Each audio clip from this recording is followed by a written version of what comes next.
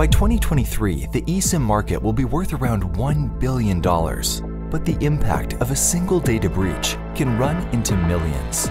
Ouch. So how do you ensure eSIM security?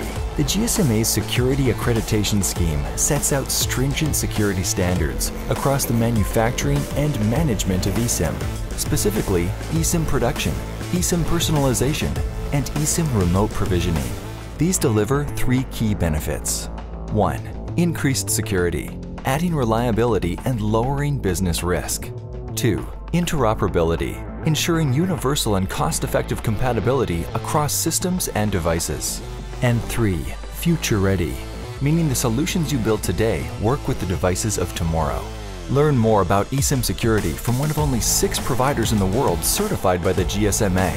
Get in touch with a Workz eSIM specialist today.